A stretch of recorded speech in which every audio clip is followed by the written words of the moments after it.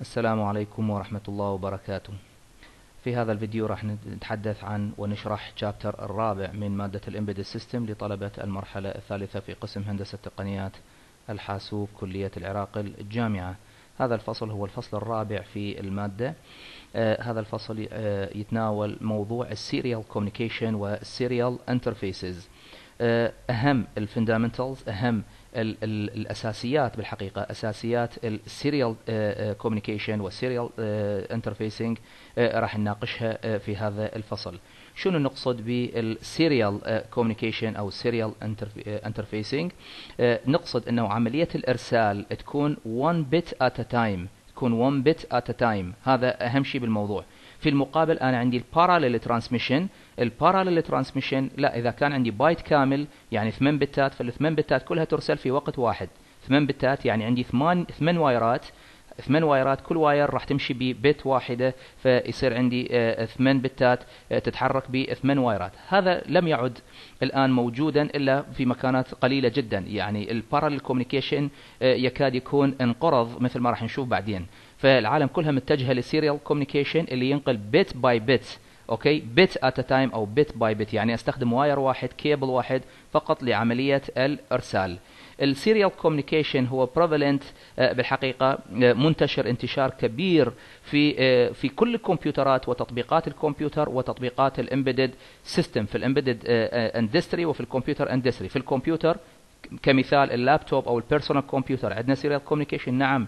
كثيرة هي serial communication أحدها وأشهرها هو ال USB الآن إحنا نربط mouse USB ونربط printer USB وأحيانا شاشة USB.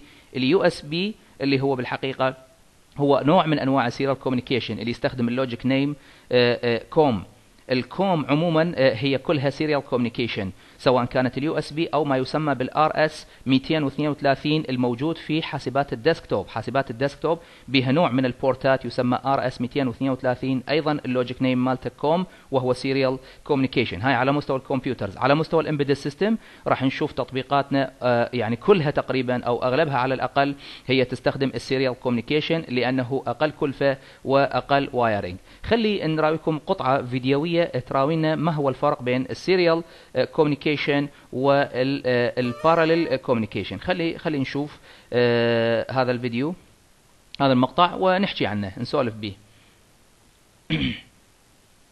راح نشوف الآن واضح هسه العملية شلون يتم الإرسال شلون يتم الإرسال. البايت الواحد البايت الواحد طريقة حركته في الكيبل واحد كيبل واحد. طبعا هسه راح نشوفه بشكل أوضح بعدين يعني شلون يمشي بت آه ورا بت bit by bit يعني ال frame بأكمله. طبعا ال frame هو ليس ثمان بتات راح نشوف بعدين نتكلم عن ال frame مالت ال serial communication يعني المهم بشكل عام إن ال serial communication هو يتحرك بهذا الشكل. لو كان عندي مثلا 198 الرقم 198 أريد أرسله آه هذا هو ال binary مالته. مرة أريد أرسله بال parallel عندي هذا المرسل ال TX وهذا المستقبل. هسه لو ننظر نركز شوية أكثر آه شو نلاحظ؟ نلاحظ أنه عندي ثمان بتات. هاي هي الثمان بتات. هاي نفسها راح تتحرك. كل بت راح تتحرك ب wire. البت الثالثة والبت الرابعة البت الخامسة البت السادسة السابعة الثامنة. يعني عندي ثمان بتات عندي ثمان وايرات. وأحتاج إلى ground أحيانا فيصير عندي تسع وايرات. آه زين هذه العملية آه يعني أغلب الناس أغلب التطبيقات الحديثة بعد ما تريدها لأن هذه كلفة بال connection لما يصير إرسال من ال TX إلى ال RX بهذا الكم من الوايرات إذا كان عندك يعني 8 بت فما بالك إذا كان عندك أكثر؟ إذا كان عندك 16 بت إيش قد عدد ال wiring اللي هنا تحتاجه في هذه الحالة؟ اذا هذا يسمونه ال parallel communication أو ال parallel transmission اللي هو يكاد يكون انقرض ولم يعد موجودا. بالمقابل اللي نهتم به إحنا هو ال serial communication. طبعا أكيد ال serial communication هو الأكثر شهرة هو الأكثر استخدام. الآن هذا 16 بت مثل ما تشوفون هذا 16 بت parallel transmission إحنا عادة نبحث عن ال less connection صار عندي 16 wire 16 wire بالمقابل ال serial communication هسه إذا ننظر لل serial communication ترسل البيانات نفس هذا البايت اللي أريد أرسله من ال TX إلى ال RX راح أرسله بت ورا بت أول ما الزيرو وراها يرسل الواحد الواحد الثاني زيرو زيرو زيرو ثم الواحد ثم الواحد يرسل تباعا بت ورا بت بهذا الشكل والعملية تكون مستمرة. مرة يكون ب clock ومرة يكون بدون clock. هنا بعد حسب التطبيق آه، اللي انت مستخدمه حسب نوع البروتوكول اللي انت مستخدمه مثل ما راح نشوف بعدين. طبعا عندنا تطبيقات تشتغل serial with clock وعندنا تطبيقات شوف هسه الآن هسه هنا آه، راح يفترض وجود أحد أنواع البروتوكولات ال serial اللي تستخدم clock تحتاج إلى نبضة. كل عملية إرسال كل بت ترسل هي بالحقيقة ترسل بعد مجيء clock. تجي ال clock الأولى ترسل البت الأولى. تجي ال clock الثانية آه، ترسل البت الثانية وهكذا ال clock الثالثة البت الثالثة. فأنا إذا أريد أرسل 8 بت أحتاج إلى 8 clocks وإذا أريد أرسل 16 بت آه، أحتاج إلى 16 clocks هسه الآن راح يرسل له 16 بت بالحقيقة فيحتاج إلى 16 clock وهذه العملية نوعا ما تكون أبطأ ولكن لها ضرورتها في مكانات آه، معينة. هذا هو الشكل العام لل serial communication نتيجة هذه الاختلافات إجت أنواع بروتوكولات كثيرة لل serial communication مثل ما تشوفون ال S bus ال JTAG ال I square C ال SPI ال USB ال RS 232 ال CAN bus ال UART هذول راح ناخذهم. هذه بروتوكولات serial كثيرة موجودة. طبعا إحنا عموما ال serial communication اجى بخطين. بخطين. هل هناك clock بالموضوع؟ إذا كان هل إذا كان أكو clock فهذا النوع من ال serial communication يسمونه synchronous متزامن synchronous serial communication. أما إذا كان لا يوجد clock فيسمونه بس ضيف حرف A يصير asynchronous communication asynchronous غير متزامن.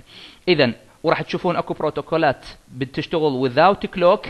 اذا هي asynchronous وأكو بروتوكولات تشتغل with clock يعني synchronous وكل واحد له مكاناته وكل واحد له آه، تطبيقاته. هذه فكرة موجزة عن ال serial communication ومقارنته بال parallel communication the purpose of, uh, of our interface is to allow the microcontroller أنا ليش أريد هذه البروتوكولات؟ أو ليش أريد هذه أساليب ال communication؟ لأنه أنا ال microcontroller أريد أربطه ويا العالم الخارجي ويا ال external plants ويا ال external units شلون أربطه؟ شلون أخلي ال microcontroller يتفاعل ويا ال external devices ويا ال external I/O devices شلون؟ من خلال هذه البورتات. زين هذه البورتات ما هو نمط ال communication بها نمط ال communication يسمى بروتوكول يعني ما هي قواعد عملية التواصل والاتصال ما بين ال port المعني بال microcontroller ويا العالم الخارجي. هذا النمط زين يسمى بروتوكول البروتوكول يقولون هو set of rules. مجموعة قوانين مجموعة قواعد مجموعة آليات مجموعة أساليب. هذه الأساليب تعمل بالأسلوب الفلاني يعطونا اسم. يعمل بأسلوب آخر يعطونا اسم آخر. ولذلك تنوعت البروتوكولات وأصبح عددها كبير موجودة. هذه هي البروتوكولات. مرات تسمى protocols أو تسمى algorithms ما هي خوارزميات العمل؟ يعني أنا أريد ال designer يتبع فد algorithm معينة أو يتبع فد بروتوكول معين حتى يخلي ال software الموجود بال microcontroller الموجود داخل ال microcontroller synchronizes يتزامن مع ال hardware الخارجي اللي مراد السيطرة عليه أو مراد آه، أنا أطلع بيانات له أو أقرأ من عنده بيانات. يعني بشكل عام خلي نسميه ال I/O device هذا ال I/O device كيف يتفاعل ال microcontroller معاه كيف يتصل معه؟ يتصل معه وفق خوارزمية معينة أو بروتوكول معين. بشكل عام عندنا 5 mechanisms خمس أساليب خمس ميكانيكيات لعملية ال synchronization ما بين ال microcontroller وال input output device طبعا ما نقدر ناخذها كلها. ناخذ الأبرز الأهم من هذه الخوارزميات الخمسة أو ال mechanisms آه، الخمسة. طبعا هذه ال mechanisms أنا ليش أريدها؟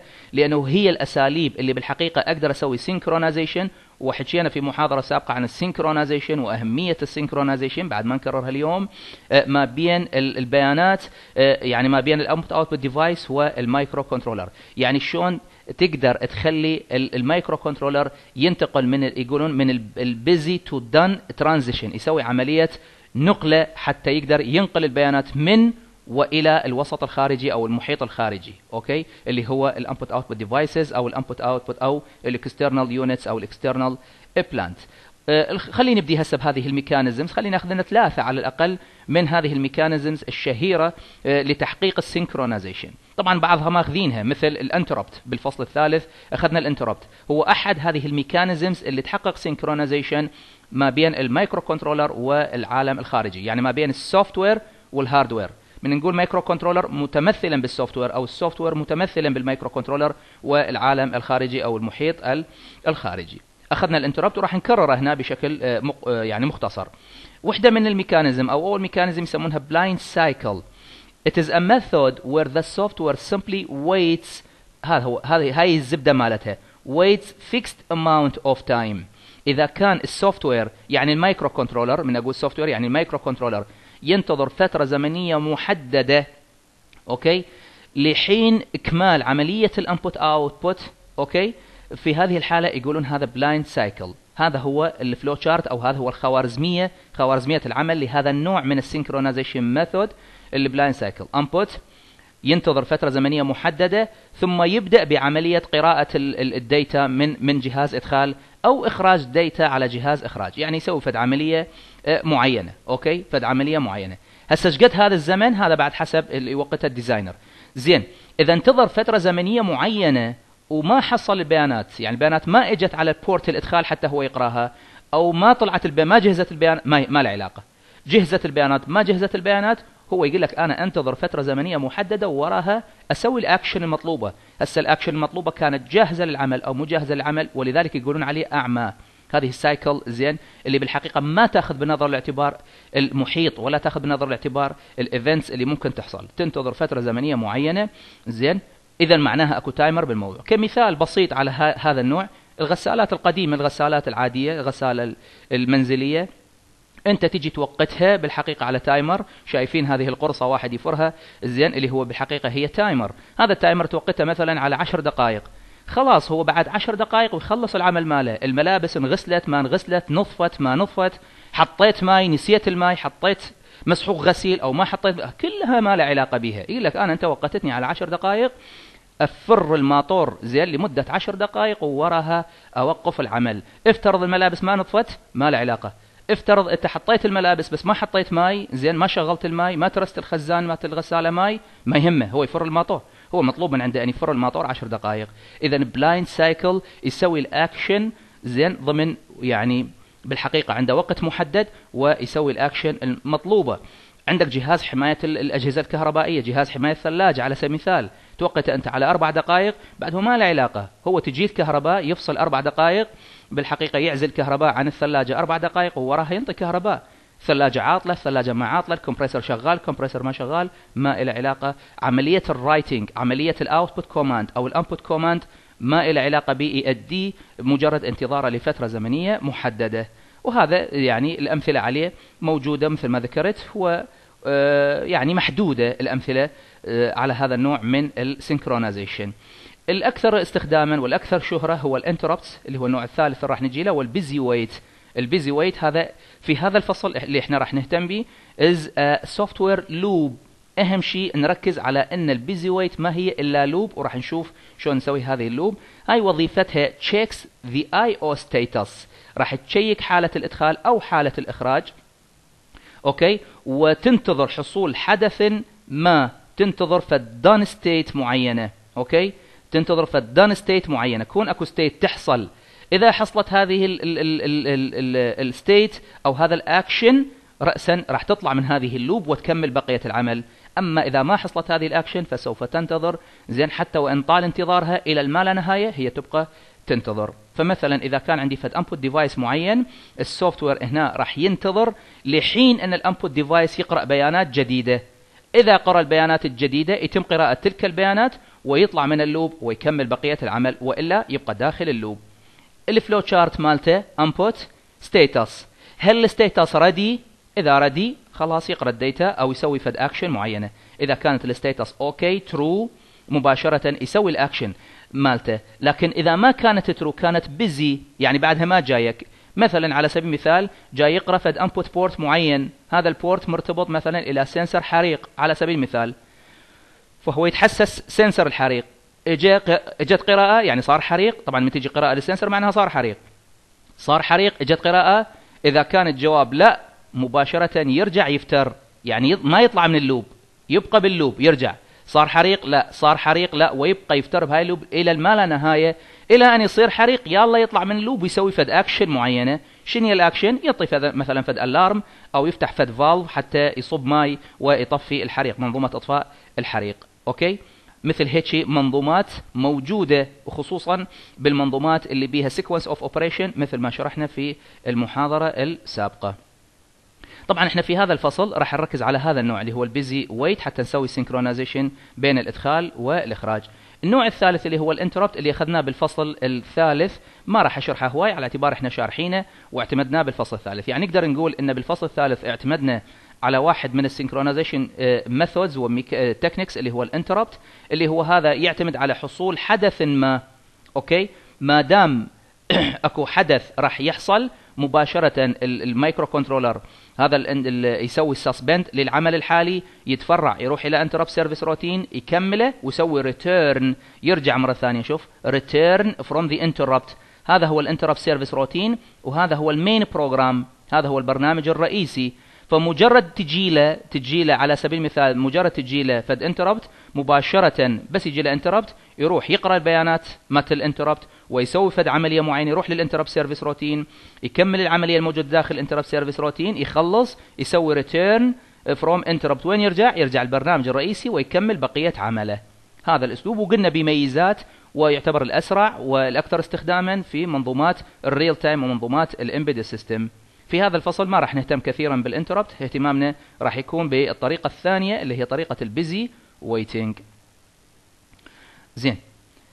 If the input device were faster than the software then uh, software uh, waiting time uh, would be zero. طبعا إذا كان ال hardware ال input device أقصد به ال hardware الخارجي طبعا غالبا ال input output devices هي أكثر بطء هي يعني أبطأ من ال software ال software غالبا سريع. بس إذا كانت هي أسرع العملية جيدة جدا ما راح يصير عندنا waiting time لكن هذه الحالة نادرا تحصل. غالبا ال software هو أسرع بكثير من ال hardware ولذلك أحتاج some form of delay مثل ما حكينا بالفصل السابق. Another characteristic of real-time system is that data can vary over time. بعض الأحيان عندي مشكلة زين إن البيانات تكون متغيرة مع الزمن. بال real time system البيانات تكون متغيرة مع الزمن. على سبيل المثال مثلا أنا جاي أتابع حركة traffic light تقاطعات مرورية معينة.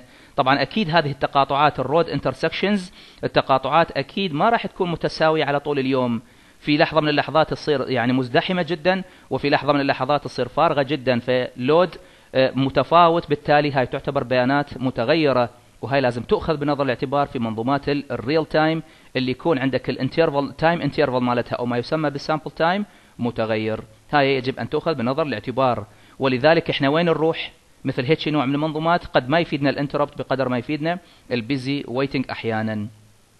هذا مقدمة حتى أوصل للشيء اللي أريده وهي ال serial communication protocols ما هي ال protocols الموجودة؟ مثل ما ذكرت من ساعة في البداية البروتوكولات كثيرة. يعني ال UART وال SPI وال USB وال CAN bus وبروتوكولات كثيرة. إحنا ما راح نقدر ناخذها كلها نغطيها كلها في هذا الكورس. ممكن واحد يقرأ عنها. راح ناخذ يعني فد اثنين أو ثلاثة مو أكثر آه، آه، يعني اللي هي تقريبا الأكثر تداولا والأكثر استخداما. الأول واحد هو ال UART أو مرات يلفظوه UART هذا هو يقولون عليه ال simplest protocol بروتوكول بسيط. طبعا هو serial protocol serial communication protocol أكيد. هو الأبسط آه، مختصر ل universal asynchronous اذا كلمة asynchronous ومن تشوف كلمة asynchronous شنو تفهم من كلمة asynchronous أكو clock بالموضوع؟ لو ماكو ماكو clock بالموضوع. asynchronous receiver transmitter أوكي؟ هذا هو اللي راح نستخدمه في عملية بناء ال device driver لبعض ال input output devices هنا راح ناخذ مثال آه، على آه، يعني نستخدم ال UART لربط two microcontrollers board عندنا ال LaunchPad نقصد به ال microcontroller board المعتمد في هذا الكورس. راح نربط اثنين وراح ننطي واجب أيضا لثلاثة. فاللي يقدر يربط two microcontrollers أو 3 microcontrollers راح نسوي chat room نفترض انه هاي ال three microcontrollers هي 3 computers يعني أكو 3 users عليها. شلون يقدرون يسوون تشات بيناتهم محادثة باستخدام هذا ال kit ات. باستخدام ال kit ات اللي عندنا وباستخدام بروتوكول ال UART أوكي؟ طبعا أكيد بي data register و FIFO register و shift register لأن عمله قائم على إنه بالحقيقة يطلع ال bit الأولى أو يعني ال least significant bit يرسلها يشفت بقية البايت إلى اليمين حتى يطلع ال bit الثانية. إنه بيشفت ويطلع ال bit الثالثة ويشفت ويطلع ال bit الرابعة وهكذا دواليك. عملية الإرسال مالته. يعمل بأسلوب ال FIFO يعني أول bit دخل بال register هو أول bit يرسل من ال TX إلى ال RX. ثاني bit دخل هو ثاني bit يرسل وهكذا دواليك. اذا بي بالحقيقة ال data register مالته هو عبارة عن FIFO register وأكو shift register يعني هو register آه، يعمل بأسلوب ال FIFO وهو shift ليه ال shift مثل ما قلنا حتى لما يطلع البت يشفت بقية البايت آه، إلى اليمين حتى يطلع البت الثاني والثالث والرابع إلى أن يكمل بقية البتات. آه، هنا ال serial port بشكل عام تمكن ال microcontroller to communicate with devices هسه هذه ال devices شنو هي؟ computers أخرى microcontrollers أخرى printers sensors شاشات LCD keyboard keypad تطبيقات كثيرة راح تشوفونها. بعضها زين إذا لحقنا ناخذها وبعضها يعني تترك لكم ك home أو class projects serial transmission involves sending one bit at a time. مو جديدة هاي الحكاية. هذا نثبت هذا المعنى. يكون يترسخ بالذهن. One bit at a time. زين إذا أريد 8 بتات at a time بعد لازم أروح لل parallel communication وليس لل serial communication The number of bits transmitted per second إجانا مصطلح جديد اسمه ال baud rate. هذا المصطلح يمر عليكم بالاتصالات يمر عليكم بال computer networks okay اللي هو ال baud rate. ما هو ال baud rate؟ ما هو تعريفه؟ هذا تعريفه the total number of bits transmitted per second أو per unit time. عدد البتات المرسلة بوحدة الزمن. Okay؟ يعني إذا أرسلت مثلا 1000 بت بالثانية يقولون ال baud rate 1000 bit per second 2000 بت مليون بت وهكذا. فال baud rate هو عدد البتات. تقسيم وحدة الزمن يعني بوحدة الزمن. إذا قلبت ال baud rate أحصل على ما يسمى بال bit time يعني البت الواحدة إيش قد راح يكون عرضها الزمني؟ يسمونه ال bit time شلون اطلع ال bit time؟ هو واحد على ال baud rate مثل ما راح نشوف بعدين. بالنسبة لل microcontroller مالتنا المعتمد في هذا الكورس بالحقيقة بثمانية UART اذا عدد جيد وافر من البورتات اللي تعمل UART كم بورت؟ ثمانية من هذه البورتات. ال frame المعتمد اللي تعتمده ال UART ال frame مالته ب 8 bits خاصة بال data هذا B naught B 1 B 2 B 3 B 4 B 5 B 6 B 7 هذه هي البيانات. هذه هي البايت مالت البيانات. وبي بت تسمى start bit وبي بت اسمها stop bit ال start bit للدلالة على أنه الآن بدأ ال frame تكون تشتغل هذه ال start bit وال stop bit تشتغل فاصل ما بين ال frame الحالي وال frame السابق وال frame اللاحق. لأنه هذه الفريمات ترسل بشكل متتابع. شلون يقدر يميز ال microcontroller أو شلون يقدر يميز الريسيفر المستلم ال RX شلون يقدر يميز بين الفريم الأول عن الفريم الثاني عن الفريم الثالث عن الفريم الرابع؟ لأن هي الفريمات راح تجي له بشكل متتابع ما راح يقدر يميزهن. شلون يميزهن؟ يميزهن من خلال الستارت بت والستوب بت إذا الستارت بت والستوب بت ما هن إلا بتين وظيفتهن يسوون separation ما بين ال frame الحالي مع ال frame السابق. بالنسبة لل start bit ومع ال frame اللاحق بالنسبة إلى ال stop bit هذا هو الفاصل مالته. أما بينهما فهي البيانات. بعض الأحيان يضيفون مو فقط ال eight هاي eight bit data اتفقنا عليها. one start bit اتفقنا عليها. one stop bit اتفقنا عليها. بعض الأحيان يضيفون بت أخرى يسمونها ال parity bit إذا تريد تسوي EC error يعني check بعض الأحيان حتى الريسيفر يسوي error check لل frame اللي قادم يحطوا له parity bit هذا ال parity bit أما parity even أو parity odd إذا كان عدد الوحدات عدد زوجي ينطي parity even. وإذا كان عدد الوحدات بالبايت آه، عدد عدد الوحدات فردي فينطي parity odd. الريسيفر من يجي يتحسس parity even يعرف أن عدد الوحدات هو عددا زوجيا. فيحسب عدد الوحدات. إذا لقاها عدد زوجي فمعناها ال frame المرسل وصل بشكل سليم. ما تعرض إلى تغيير ما تعرض إلى تخريب زين؟ لكن إذا جاله parity even وهو حسب عدد الوحدات بال frame القادم لقى odd يعرف أن أحد البتات تم تغييره تم تغييره بسبب ال noise تم تغييره لأي سبب من الأسباب فبالتالي يعتبر هذا ال frame frame خاطئ مو فريم صائب. إذا نوع من أنواع ت check ال error في الفريمات المرسلة. إيش قد يصير المجموع؟ 8 بتات خاصة بالبيانات start و stop هاي 10 وإذا حطيت parity bit يصير الطول 11 إذا ال maximum bits for for 1 frame لل UART هي بالحقيقة ما تتجاوز ال 11 bits أكو بعد شغلة أخرى يعني بالنسبة لل آه، بالنسبة لل ال port اللي هو RS 232 هذا port موجود في حاسبات ال desktop. باللابتوبات ما تلقاه ما تلقى هذا النوع من البورتات فقط بحاسبات ال desktop. Okay؟ أيضا شلون أقدر أحصل هذا ال port هذا شكله اللي هو دائما تلقاه على شكل آه، بالحقيقة 11 آه، أو 9 عفوا 9 9 pin 9 pin male. تلقاهن موجودات يعني من تفر ال case مالت الحاسبة راح تشوف هذا الشكل. D type يقولون عليه. D type D-type عدد pin اته تسعة. يحطون يحطونه عادة على الحاسبة female آه، إذا كان على الحاسبة. طبعا ممكن تخليه أنت الجهة الثانية الجهة اللي تربط إلى هذا ال port تكون male. okay؟ زين شلون أربط هذا ال port مع microcontroller على سبيل المثال؟ microcontroller بي TX RX اللي خاصة بال UART قلنا بها عدد ثمانية. هذا ال port إذا أريد أطلع يعني إذا أريد أسوي على ال microcontroller نفس ال microcontroller هذا مالتي أريد أسوي بي port RS 232 شلون هذا ال design مالته؟ هاي خريطة ثابتة. آخذ ال TX وال RX وأحتاج إلى IC اسمه MAX 232 MAX 232 هذا IC ينباع بالسوق. يعني تقدر تشتريه هذا ال MAX. طبعا ممكن أرقامه شوية تتفاوت بس هو بشكل عام هذا الرقم مالته MAX 232 طريقة الربط مالته هاي طريقة الربط standard ما تتغير. هاي فيشة أيضا تنباع بالسوق. هاي فيشة اللي هي عبارة عن DB 9 female تقدر تربطها بهذه الطريقة مع ال IC هذا هذا ال IC ال MAX 232 وتربطهم إلى ال RX وال TX مال من؟ مال ال UART port اللي موجود على ال microcontroller بهاي الحالة شو تحصل؟ تحصل RS 232 serial port يعني تقدر تخلي ال microcontroller بي RS 232 serial port هذا نفس الربط موجود بالحاسبة. يعني حتى الحاسبة من تفسخها من الداخل وتشوف ال interface مال هذا ال port مالتها تلقى بيه علاقة ال port الخارجي بال microprocessor تكون عن طريق ال MAX 232 فأي device تلقى بي ال RS 232 أو أنت تريد تسوي بي RS 232 لازم تروح تشتري هذا ال IC وتشتري كم متسعة. هاي المتسعات عددها خمسة أو ستة. من المتسعات واحد اثنين ثلاثة أربعة خمسة. خمس متسعات تربطهم بهذا الشكل على هذه الأطراف وتوصل بال RX وال TX مالت ال microcontroller تحصل على ال RS 232 serial port يفيدك بأشياء كثيرة. هذا ال port يستخدم حتى لبعض التطبيقات الصناعية.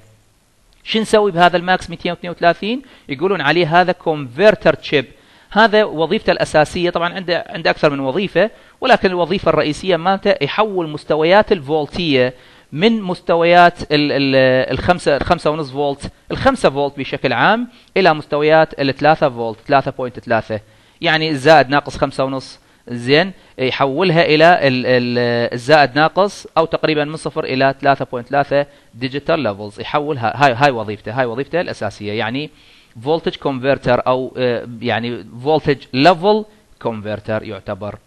أما هذه ال capacitor قيمها يعني مو كلش critical يعني قابلة للتغيير عن هذه القيم ولكن هذه القيم هي typical لقيم ال capacitors. هذا النوع من البروتوكول يشتغل ميزه هذا البروتوكول اللي هو UART يشتغل بطريقة simplex ويشتغل half duplex ويشتغل full duplex شنو ال simplex وشنو full duplex وشنو half duplex هذه متروكة homework لكم. أريد واحد يجاوبني عليها. شنو اشغله simplex وشنو اشغله half duplex وشنو اشغله full duplex خلينا ناخذ لنا فد فيديو شوية عليه نشوف بعض الملاحظات عن الموضوع. هذا هو UART protocol هذا هو شكل ال frame مالته. خلي نركز بال frame مالته. هذا ال TX من يريد يرسل بيانات بهذا الشكل.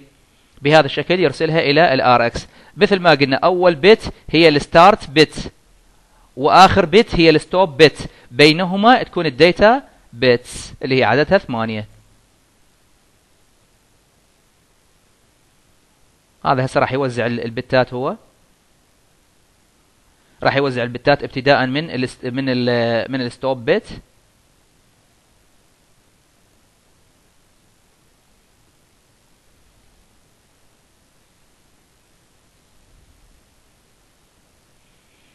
ويعتمد على ال transmission speed زين وال data length ال data length عادة هو 8 بايت آه عفوا آه 8 bit يعني 1 بايت وال transmission speed هي ال baud rate سميناها. هي transmission speed أو سميناها ال baud rate اللي هي عدد البتات per second هذا هو الشغل مالته. ال start وال stop bits هذني كفواصل ما بين ال frame وال frame السابق. إذا افترضنا أخذنا رقم 198 بال binary هو 11000011 راح ينزلن بهذا الشكل. بهذا الشكل هسه شنو صارت؟ هسه هذني data هذني data okay؟ شنو لازم يضيف لهم بعد؟ لازم يضيف لهم بعد ال stop bit هذا ال data length قد؟ 8 bits هذه بيانات حقيقية اللي هو المراد أرسالها من ال TX إلى ال RX من المرسل إلى المستلم. زين. شنو يحتاج بعد؟ يحتاج إلى ال stop bit وين وال start bit وين هال start bit هاي؟ اللي عادة شوف إذا تلاحظ عادة ال start bit تكون low level يعني ماخذة level zero زين. ولأنه ال signal أول ما تجي بطبيعتها بطبيعتها الأساسية high. يعني بحالة ال default ال signal من تجي high. فحتى تبين البداية ما يصير يحطها high. لأن إذا حط ال start bit أيضا high ما راح تبين من الحالة ال default عن حالة بداية ال frame. فراسا يغير يسوي change transition ينقلها من حالة ال high إلى حالة ال low. اذا ال start bit دائما شنو؟ low. بينما ال stop bit دائما high. Okay? شوف ال stop bit أو ال end bit دائما high. هذا ال frame اللي راح يرسل من ال TX إلى ال RX شوف ال first low is start bit start bit دائما low. هذا هو الشكل العام لل frame. البيانات هذه 8 bit ممكن يضيف parity bit إي نعم ممكن يضيف parity bit بس عدد بتات بدل ما 10 يكون 11 إيش قد ال bit time ال bit time يعني هسه اريد أشوف العرض مال هذه الخضراء هاي باللون الأخضر هاي عرض ال bit الواحدة. عرض ال bit الواحده إيش قد يساوي؟ واحد على ال baud rate. ال baud rate إيش قد؟ مثلا ال baud rate أكو أرقام standard ال UART protocol إلى أرقام standard لل baud rate. يعني ما تقدر دائما تأخذ الأرقام اللي اللي ببالك إلا بحالات خاصة. بشكل عام لها أرقام standard أشهر رقم لل baud rate هي 9600 bit per second أو bauds per second اقلبها سوي واحد على 9600 الرقم اللي يطلع هو يسمونه ال bit time اللي هو عرض النبضة عرض ال1 عرض ال1 عرض ال zero عرض النبضة الواحدة عرض ال bit الواحدة. Okay? اذا عرض ال bit الواحدة هو واحد على 9600 فإيش قد يطلع؟ يطلع هذا الرقم زين اللي موجود. شوف تبعت هذا الرقم يمثل عرض ال bit الواحدة وهذا رقم متغير حسب ال baud rate المعتمد. شوف؟ إذا منا إلى هنا قد سجل؟ سجل 104 microsecond من هاي النقطة. إلى هاي النقطة هذا يسمونه ال bit time. هذا تعريف ال bit إيش قد يساوي؟ 104 microsecond. إذا كان ال baud rate طبعا 9600 هاي تقريبا الشغلة المتعلقة بال frame اللي خاص بال UART to activate a UART طبعا نحتاج إلى آه أنه نشغل clock هاي clock مو ال clock مات مات عملية الإرسال. واحد يقول زين أنت مو قلت asynchronous ما بي clock ما بي clock بعملية الإرسال. يعني البتات ترسل bit ورا bit بدون أن تحتاج إلى clock لعملية تحفيز الإرسال. هاي ال clock هي لتشغيل البروتوكول لتشغيل ال UART protocol. وين موجودة؟ ب register اسمه RCGC 1 register. هذا لازم أنطيه logic 1 حتى أشغل ال clock اللي يشغل لي البروتوكول اللي تفعل لي ال UART protocol. وليس ال clock اللي أحتاجها لعملية الإرسال لأنه بالإرسال أنا ما أحتاج أي clock في هذه الحالة. Okay? هاي شغلة. الشغلة الثانية you need to enable transmit and receive pins. هو عنده ال transmit مالته مكتوب عليها TX وال receive مالته مكتوب عليها RX هذول أيضا لازم أسوي لهم عملية enable هاي كلها بال configuration إحنا بكل آه، تطبيق مثل ما شفتوا بالفصول السابقة ناخذ configuration أو initialization نهيئ به ال portات. هنا هم لازم أسوي عملية initialization حتى أهيئ البتات لعملية ال TX وال RX خلي بالكم لا تنسون هذه المصطلحات. TX إرسال RX استلام. The alternative function of these pins must be also selected. لحد الآن إحنا شغلنا بال chapterات السابقة كان كله على ال pinات أن تكون digital input output في هذا ال chapter راح نبدي ناخذ ال alternative function تذكرون من كنا بالفصول السابقة ال alternative function نسوي لها disable لأنه نشتغل بال pinات فقط digital input output فال alternative function لل pinات نسوي لها disable هنا لا راح نستخدمها the alternative function for these pins must be selected. هنا راح يبدي الشغل لل alternative function شنو قصدي بال alternative function يعني ال pin المعني هو يشتغل digital input output بس هالمرة أنا ما اريد digital input output اريد TX إذا ال TX تعتبر وظيفة أخرى غير وظيفة ال pin ك digital input أو digital output. ونفس الكلام هذا ال pin أريد RX يشتغل كاستلام okay? غير وظيفته ك digital input أو digital output. اذا أقصد بال alternative function هنا هي وظيفة ال TX أو وظيفة ال RX اللي هي وظيفة أخرى تضاف إلى وظائف ال pin زين؟ اللي كان كنا نشغله سابقا فقط ك digital in أو digital out طبعا بشكل عام we set bits in both ال AF هاي هاي اللي سميناها alternative function. Select هاي إذا تذكروها كنا نسوي لها disable. هسه بعد ما أسوي له disable هسه لازم أسوي له logic 1 أعطي هذا قبالة logic 1 ليش؟ حتى ال pin المعني أستخدمه لعملية الإرسال. وكذلك ال PCTL register مثل ما راح نشوف بعدين بالبرمجة. الخوارزمية اللي, اللي تقريبا الأسلوب يعني ال flowchart اللي راح نشتغل بعملية ال busy-wait synchronization لعملية الإرسال والاستلام لل UART protocol مبينة بال flowchart الأول وال flowchart الثاني المبينة أمامكم. شلون جاي تشتغل هاي؟ خلي ناخذ حالة الأولى اللي هي حالة ال RX هسه هاي هنا شغل يا pin pin ال RX وهذا يا pin pin ال TX خلي ناخذن وحدة وحدة. pin ال RX يجي يتحسس InChar InChar يعني character الإدخال يعني character القراءة. راح يجي إلى ال pin X هل إن ال pin X إجت بيانات؟ هل إن ال pin X فارغ بالحقيقة empty زين لو not empty إذا كان empty معناها شنو؟ معناها ما بي بيانات. إذا ما بي بيانات ارجع check ه مرة ثانية. ارجع انتظر دخول بيانات. إذا empty يعني true زين يرجع. مو قلنا busy wait شوفوا synchronization busy wait رجع loop ويظل. يظل يفتر بهاي ال loop. ما دام ما جايت له بيانات راح يبقى يفتر بهاي ال loop حتى وإن طول للما لا نهاية هو يبقى يفتر بهاي ال loop. يمتى يطلع منها؟ من يصير not empty not empty يعني مو فارغ يعني إجت بيانات يعني استلم بيانات. إذا استلم بيانات يطلع من ال loop. شو يسوي؟ يقرأ ال data يقرأ ال data اللي موجودة على الطرف RX الموجودة به هاي شغل ال microcontroller شلون شغلة؟ ي check هل إن هذا ال port اللي أو ال pin اللي هو RX هذا فارغ؟ إذا فارغ أرجع أقرأ من جديد. فارغ أرجع أقرأ من جديد. فارغ أرجع أقرأ من جديد ويظل هيك لا والله مو فارغ صارت ببيانات not empty اقرأ تلك البيانات وروح وديها وسوي لها processing المطلوب. هذا إذا يريد يسوي عملية قراءة. زين إذا يريد يسوي عملية كتابة يطلع إخراج على البين تي إكس نفس الكلام ي check ال TX هل ال TX full إذا ال TX full يعني عليه بيانات بعد ما يقدر يخرج عليه بيانات لأن أساسا هو عليه بيانات من عملية سابقة أو من إرسال سابق لا زال بعد ما مخلصة. خلينا نفترض كان ملتهي بإرسال سابق بعد ما مخلصه. اذا full إذا full يذب عليه إرسال جديد لا ما يذب عليه ينتظره. خلص full اي بعدني full اذا يرجع. بعدك full زين ويظل يفتر إلى أن ال TX يصبح not full يصبح فارغ. يعني الارسال السابق خلص انتهى من عنده. ذيك الساعة يسوي write data. يعني يطلع output data على ال TX لحتى تكون جاهزة لحتى تكون جاهزة لعملية الإرسال. اذا هذا flowchart العمل بالنسبة لل TX وهذا flowchart العمل بالنسبة لل RX يا synchronization يا أسلوب هذا هذا أسلوب يسمونه ال busy wait synchronization ال software ات البرامج ما ما أريد أخلط بينها وبين الشروحات راح أخليها بفيديو مستقل. البرامج مال هذا ال chapter راح أخليها بفيديو مستقل. فنكمل الشرح العلمي ونرجع في فيديو مستقل لل software وال device driver وطريقة بنائها.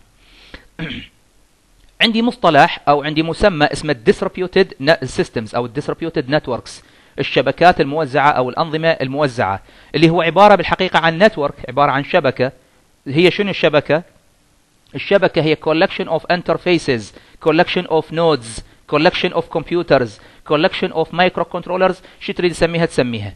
مجموعة من الحاسبات تربطهم شبكة أو مجموعة من ال microcontrollers تربطهم شبكة بحيث يعني يتشاركون ب physical medium وبعض الأحيان حتى يتشاركون بعض الأحيان يتشاركون في الذاكرة مركزية معينة.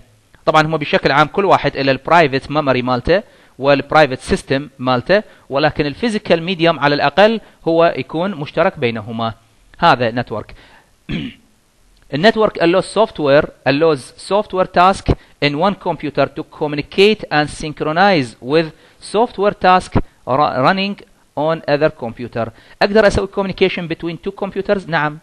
أقدر أخلي ال software في الكمبيوتر الأول يسوي عملية تواصل مع ال software بالكمبيوتر؟ نعم. عن طريق ال network. ممكن هذا. أقدر أسوي عملية synchronization بين هذا وهذا؟ نعم. أقدر أسوي cooperation تعاون بين software موجود بالكمبيوتر الأول آه، بالكمبيوتر الثاني؟ نعم. الجواب نعم. هي هاي فوائد ال network.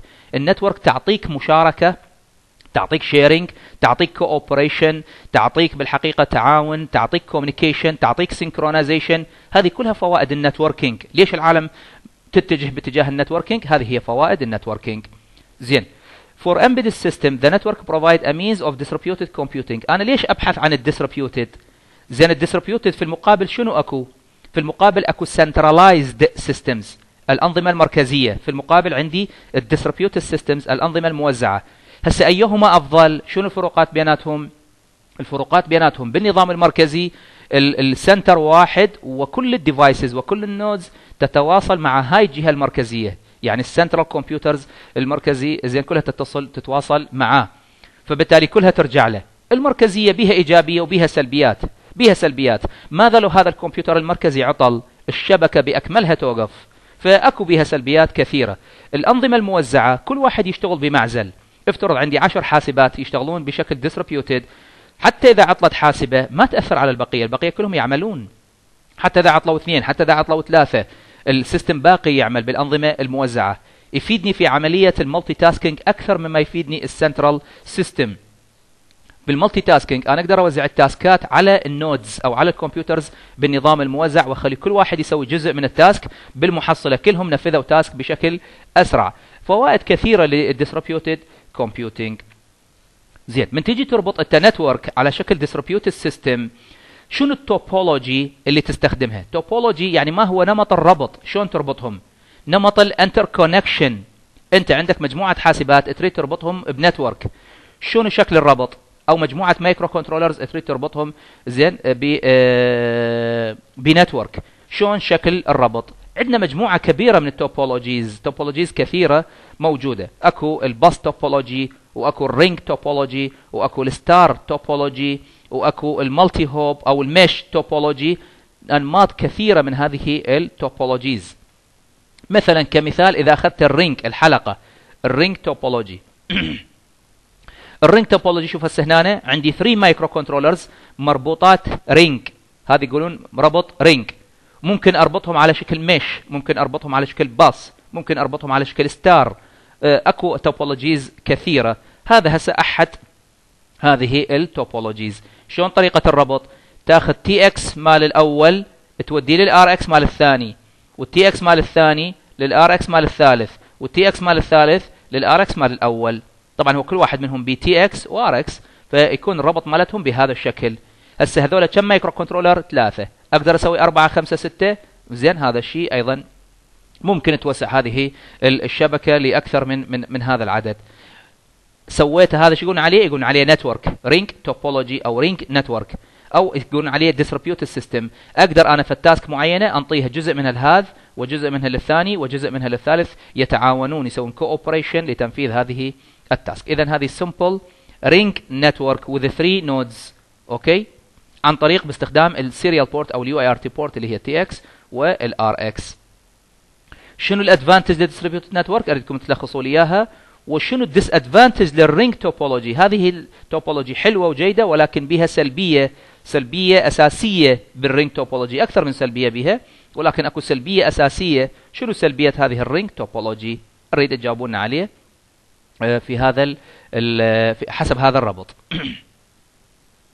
خلينا ناخذ example بس ما أشرح كالمعتاد مثل ما قلت لكم ما راح أشرح البرنامج البرامج راح أحطها كلها في فيديو واحد. Develop a communication network between two launch pads. Two launch pad يعني two microcontrollers. حتى يسوي chat room. Chat room بين اثنين بين نفرين بين nodeين بين two computers بين two microcontrollers. okay بس الشات هنا ما راح يستخدم به الصوت أو الكتابة. يعني مو text based. ولا يعتمد على ال voice ولا يعتمد على ال voice وإنما يعتمد على ال switches وال LEDs يعني ال switch راح يكون هو المتحدث وال LED هو المستلم. عن طريق شفرة الألوان. فراح تكون ال switches هي ال inputs وال LED هي ال outputs والبروتوكول المستخدم هو UART protocol هاي طريقة ال communication زين. راح يفترض وجود خمس أسئلة يطرحهم ال switch وأكو أجوبة آه ثلاث أجوبة يجاوبهم منو؟ يجاوبهم ال LED ما هي الأسئلة اللي راح يطرحهم ال switch ال switch إذا يريد على سبيل المثال المرسل يريد يقول are you there in your office? هل أنت موجود بالمكتب؟ فيرسل لون أحمر. ال switch تظل شغله تدوس بيه بحيث يرسل لون أحمر. إذا رسل أصفر كأنه جاي يسالني are you happy? إذا رسل أخضر are you hungry? إذا رسل أزرق are you thirsty? إذا رسل مثلا آه، ابي آه، أزرق آه، نوعا ما أزرق فاتح. Shall I come to your office to talk? زين هل أنت فارغ؟ نجي نتحدث وياه. اذا ال switch راح يسأل هذه الأسئلة عن طريق ألوان ال LEDات. الجواب منين يجي له؟ من ال node الثانية. ال node الثانية إذا رجعت له أبيض ال switch الضغطة بحيث تختار اللون الأبيض وتسوي له send. فإذا رجعت له أبيض يعني الجواب yes وإذا رجعت له أسود الجواب no وإذا رجعت له زين آه ال purple فالجواب يعني بينهما لا yes ولا no maybe okay؟ فتعتمد هنا الجواب يعتمد على السؤال اللي يريد يجاوبه الشخص زين أنا شلون جاي أختار هاي الألوان عن طريق ضغط المفتاح؟ كل مفتاح راح أصمم ال microcontroller الواحد أصممه بحيث المفتاح الواحد يقدر يطلع لي هاي الألوان كلها. أضغط المفتاح إلى أن يطلع الأحمر راح أخصص مفتاح يعني switchين هنا راح يشتغلن. ال switch راح يخصص لاستخراج اللون لاختيار اللون وال switch الثاني لإرساله. يعني أختار اللون الأصفر switch رقم اثنين يسوي إرسال للأصفر. أختار اللون الأبيض ال switch رقم اثنين يسوي إرسال للون الأبيض. okay؟ فواحد راح يرسل السؤال والثاني راح يستلم الجواب والعكس صحيح. يقدر الثاني يرسل سؤال والأول زين يستلم الجواب. اذا هنا بهاي الحالة عملية اختيار ال message بالبداية ب switch وعملية إرسال تلك ال message ب switch آخر. هاي الشغلة. اذا switch 1 لعملية الاختيار مثلا و switch 2 لعملية الإرسال. هاي. switch 1 for selecting message بينما switch 2 هذا شنو وظيفته؟ وظيفته يرسل تلك ال message. هاي القضية زين اللي راح نعتمدها في هذا المثال. هاي طريقة الربط الإلكتروني. هذا هو ال microcontrol الأول. الثاني مربوطين بيناتهم شلون؟ هذا هذا ربط cross يعني ال TX مال هذا لل RX مالت هذا وال RX مالت هذا لل TX مالت هذا. وطرف ثالث طبعا ground ال ground مال هذا هاي لا تنسوا هاي مهمة. إذا ما تربط هذا ال ground ما يشتغل فلازم ground هذا يتصل ب ground هذا. خلصت هذا ب LED آه، آه، اللي هو ال RGB LED اللي هو يعطي ثلاث ألوان بس إذا خلطتهم يعطيك ثمان ألوان وسويتشات اثنين وهذا نفس الكلام. فأنت تختار من switch 1 اللون المحدد و switch 2 يرسل فتجي اللون اللي اختاريته يرسل من هذا ال microcontroller يجي لهذا. وين ينعرض لازم؟ ينعرض على هذا ال LED. ينعرض أو على هذا ال LED أو على هذا ال LED. هل راح يجي أبيض؟ هل راح يجي أزرق؟ فإذا اجى أبيض فهو جواب. إذا اجى أزرق فجواب ثاني. إذا اجى أسود فهو جواب ثالث. زين هذا يقدر يسأل؟ نعم هذا يقدر يسأل تروح البيانة بالعكس. تجي على هذا ويشوف الجواب مالته.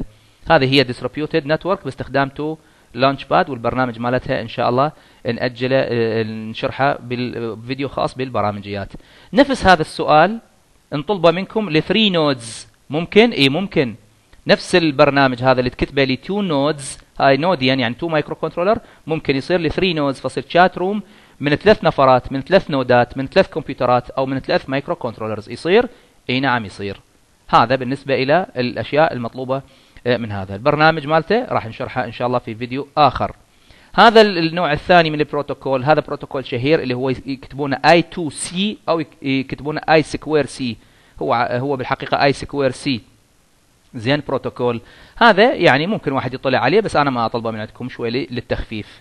اللي يهمني البروتوكول الثالث اللي هو ال SSI أو مرات نسميه اس بي اي اس اس اي أو SPI هذا راح نأجله إلى فيديو قادم وشكرا جزيلا.